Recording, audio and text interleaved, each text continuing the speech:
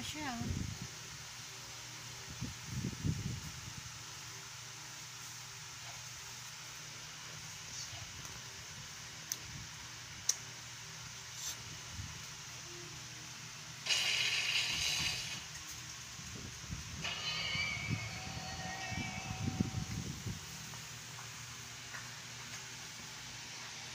Ayan po ang aking mga alagang aso